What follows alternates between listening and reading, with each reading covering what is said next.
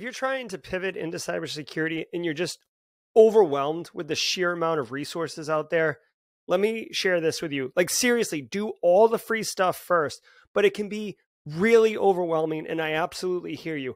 I made this cheat sheet literally. You can just, I'll send it to you.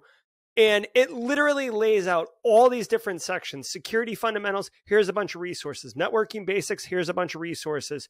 On and on. Operating systems. All the fundamentals that you would need to get access to and understand in order to work in cybersecurity. Also, I kind of went down a couple different rabbit holes. Web application securities in here, cyber range practice platforms. So, no matter what it is that you want to do in the industry, this cheat sheet's going to give you a huge leg up on getting all those fundamentals and understanding.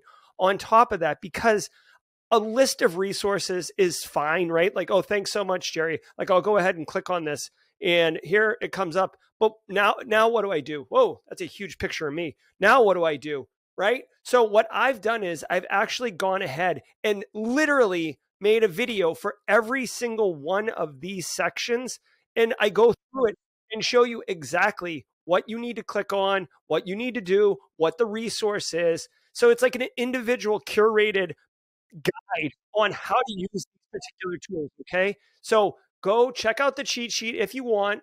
I think, you know, I made it basically to help people not feel overwhelmed because I see it all the time. I hear it all the time. And I don't want people to get discouraged. All right. So use the link. You put your email address right in here, doink, and I'll send you the cheat sheet pretty quick. All right. Thanks.